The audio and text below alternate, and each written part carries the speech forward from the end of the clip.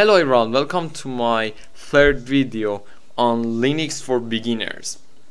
And in today's video, I'm going to talk about tilde in Linux, which is really important in the file management of Linux. I've already made a video on file management, and this video is intended to teach you more on file management, specifically about tilde.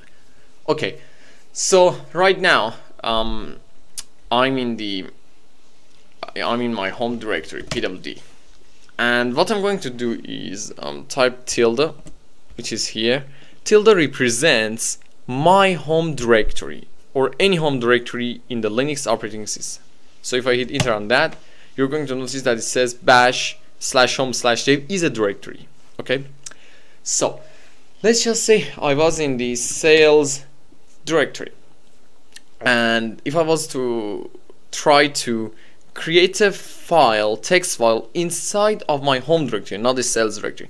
I'll need to type touch slash home slash Dave slash let's say test.txt.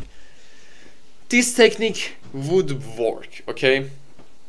But I don't like it, but I'm still gonna show you. And if I go back to my home directory, you're going to notice that test.txt was created.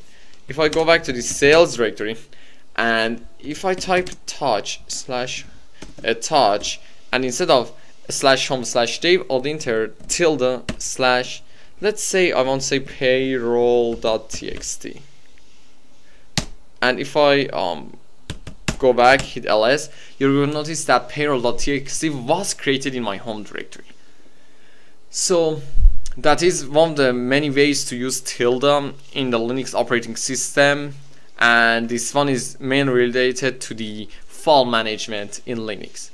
So um, I hope you learned something useful in this video and please like the video and subscribe to the channel. Thank you so much for watching my video.